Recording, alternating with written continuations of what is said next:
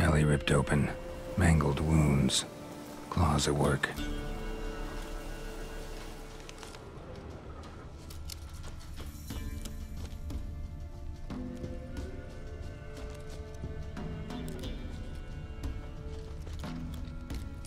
Stopped feeding here.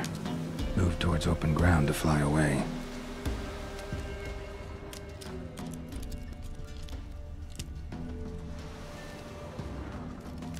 Archgriffin feather. Must have lost it when taking off. Hopefully its nest is nearby.